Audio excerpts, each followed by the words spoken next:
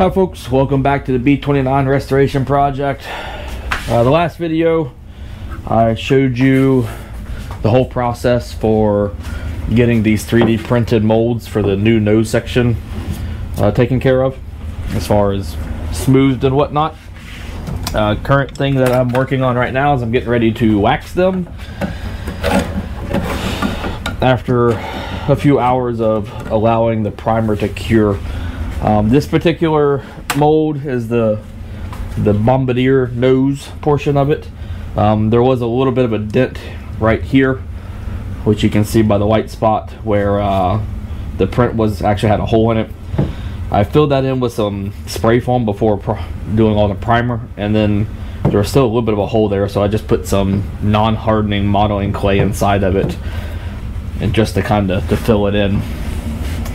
So like I said, now I'm just kind of working on getting it ready to be molded once I, or I shouldn't, well not molded, but getting it ready so the PVA and the fiberglass, the primer and everything can be laid up when I get back from work. Uh, I use Partall Paste number two for all of my mold making and plug stuff. Um, in this instance, since this is just a conventional automotive primer, I'll also use the Partall number two paste, obviously inside the mold for this. If I was doing a conventional plug and then a mold, I would use the Partall paste and the PVA. Uh, the reason I use this is because it's very, uh, it's kind of tried and true. Like you can't, it, it, works as long as you do it the proper way. Um, I have found over the dozens of molds that I have done over the, the past few years that it really it's kind of foolproof. Uh, when it comes to 3D printed molds like this, like I said in the previous video, I don't really, uh, I don't really polish off the wax all that much. Um, I typically put one or two really heavy coats on it and leave it there to sit. And then I'll do a third one, I'll polish that coat off, and then a fourth one if I feel it needs it. Uh, if there's a lot of roughness to it, uh, kind of like this part. This part has a good bit of roughness from it just because it's not the easiest thing to sand smooth. So this one I will probably do four coats on. The rest of it I'll probably just do three.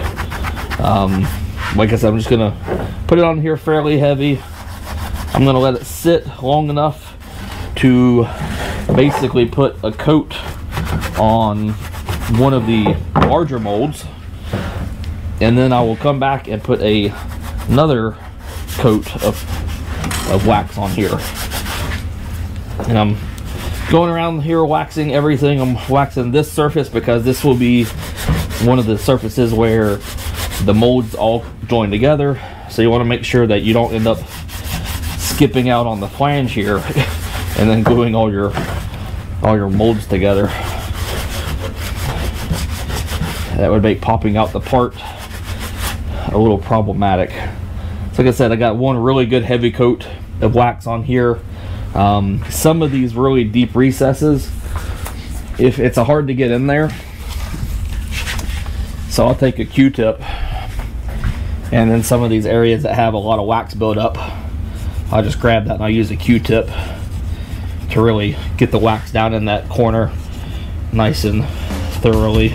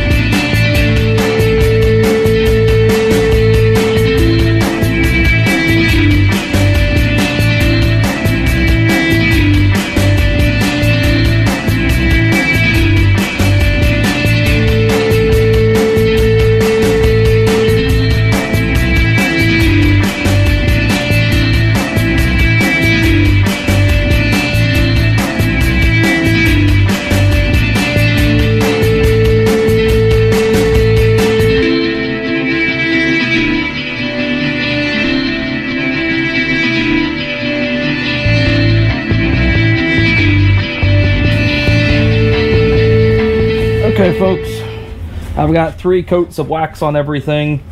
Um, I came in here with a, I don't know what it was. It was a little under a half inch drill bit and then another half inch and then a half inch drill bit. And I cleaned out the holes here at the rear for these, uh, these half inch locating pegs. Um, I've got these all cut. This is just some nylon material that I had uh, left over. Um, and then I also have four locating pins here at the front. Um, after looking at it, obviously you can see this one, it's it kind of like locates half of it and then the other half is on the other mold half. If I were to redo it, I'd probably set it up to where the they're solid instead of them being on the 12, 6, 3, and 9 o'clock position. I'd probably do it like 130, like over in the quarters. That way you have two full pins on each, either side. But too late for that. So I printed these off. The holes are actually, I always oversize them a little bit, about 10%, which makes a one inch hole a 1.1 inch hole. And it ends up being a little too large for a one inch tube.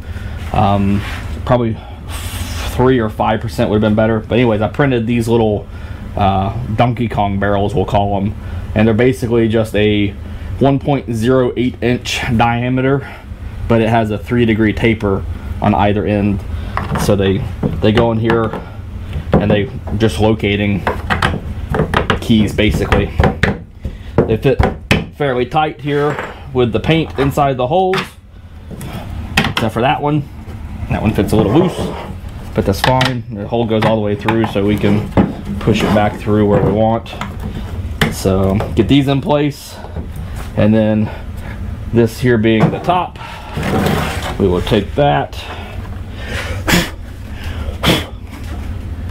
clean out the dust that's in the hole. And then we will locate it here on top. Fits together actually really nice. Much nicer than I thought it would, to be honest. Um, man, that's that's gonna be awesome. Probably, and we'll see if we can get it in there with how it's set up right now. But I used a very similar method to this on my Beech Starship when I did new nacelles and uh, a wing center section for that. Um, instead of having bolts to hold it all together, I actually just hot glued the seams on those molds and that worked really well for holding it together. So there we go. The fishbowl is more or less assembled.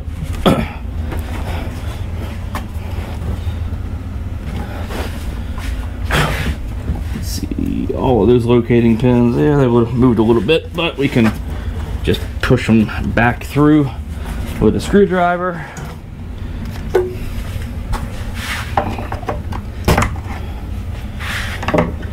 And then what I will likely do is I'll get a couple of just ratchet straps and I'll come around one back here and then one up here towards the front to help uh, get all this back tight together.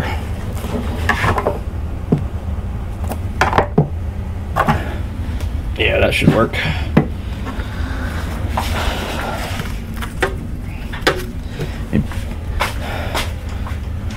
Move the camera over here and I'll let you look down inside the bowl. As you can see, there's a fairly decent sized gap here at either end. Not really surprised. I mean, it is plastic and it's going to warp as it prints. But the fit between the rear fuselage and then the, the navigator bulge or dome, however you want to call it, is actually really nice. Um, so that transition is really good. The gap, not too worried about it. What I will do, like I said earlier, is I will take some, um, I'll take some non-hardening modeling clay, and I'll just work it inside of that that gap, and that'll seal it off.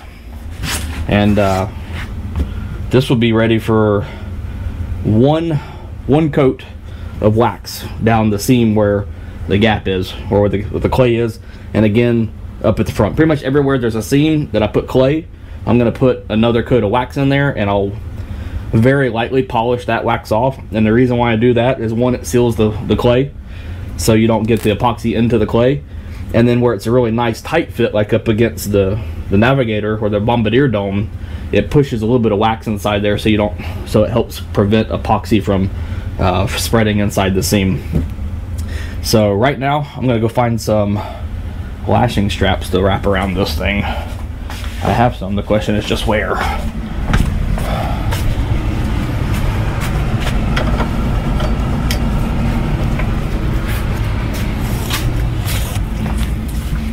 That was easier than I, than I thought it would have been. So.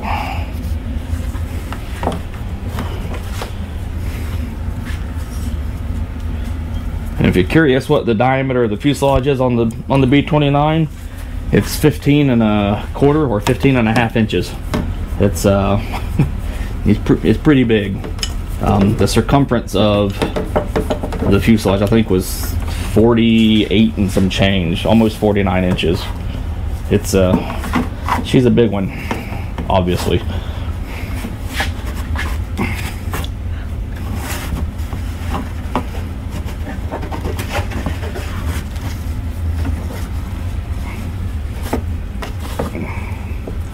This is when my son should be out here helping.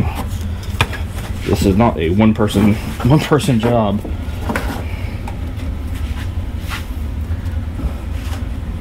Or if I had a five foot long zip tie, that'd be even better. Ratchet straps would probably actually be the better idea. These are just friction straps where you put it on there, then you it's only gets as tight as you can pull it.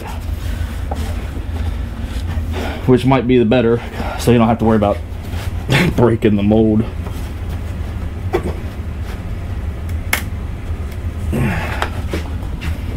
Yeah, that's good enough.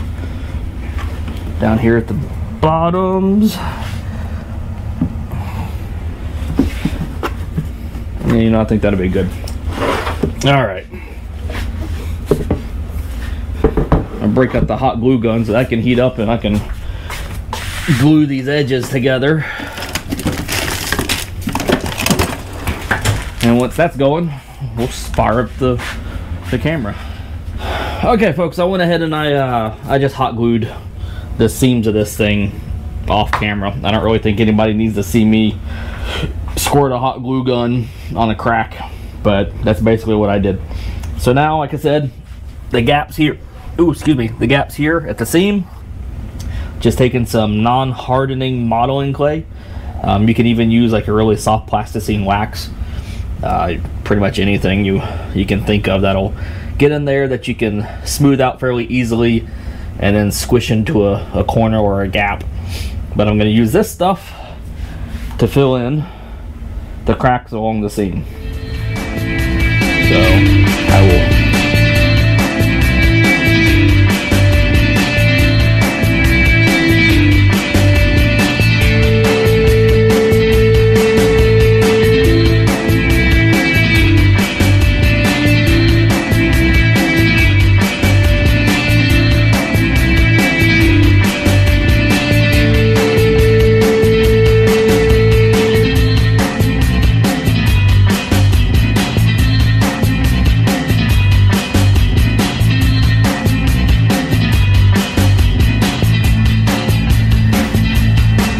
Well, folks, there you have it. We have the new nose for the B29 pretty much 90% of the way ready to mold one. Uh, the only step left after this is to spray PVA in here. Let that dry. That creates, like I said, our physical barrier. It's like, it's basically a spray-on liquid plastic, but it's water soluble, so you can wash it right off. Oh, excuse me. Once the PVA is in here, which I'll show in the next video, and that is dry, we'll spray our primer in here, and then we'll start laying up all of these fiberglass layers. Whew. It's a lot of work. I hate waxing plugs and molds, which is why I don't use wax and PVA very often anymore. I've got better, less, uh, less labor intensive products that I use. But anyway, that's gonna be it for this video. Uh, the next video, cool things are gonna happen. Um, I kind of wish I would have, well, I wanted to do something very similar to this for the tops of the, of the nacelles, but it was just going to be way too much work to get mirror images. And anyways, So yeah, anyways, that's all we got going for now. Uh, when, I, when I get back next week, I will get back to work on this thing and we'll get this nose cone laid up. Probably pop one out and I need to do I need to do more cows too. So this is gonna kind of be a precursor to seeing what my layup for my next set of cows is gonna be. I've got five cows right now. Four of them are original. One of those is broken, uh, but repairable, but probably it's just not working. Then I've got the brand new one that I laid up, which is just heavy, but it's really nice, but it's heavy. So anyways, until next time, y'all have a good one.